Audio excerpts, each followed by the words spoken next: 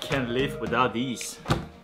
So the other day, my favorite YouTuber, Peter McKinnon, posted a video called the B-roll challenge. Basically, what you have to do is to choose a boring location, but make it look not boring. So for this video, I chose my living room as the boring location. And yeah, I hope you guys enjoy it. Roll the clip.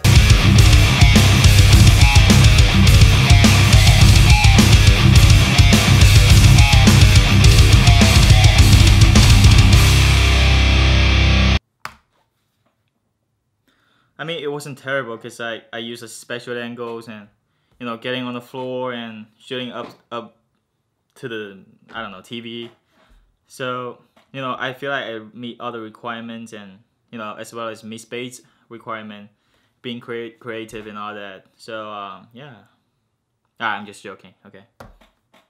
Come on, seriously? What, what was that? That's like media one video, if you know what I'm saying. Alright, I wrote the actual clip.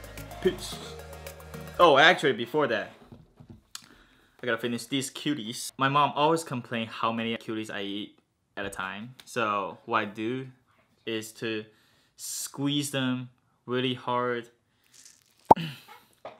and then make a cup of juice out of them.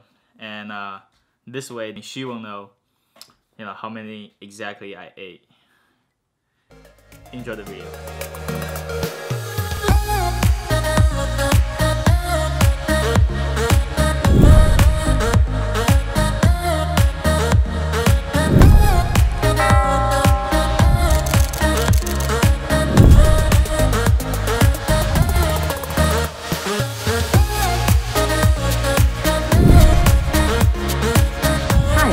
Can I do for you?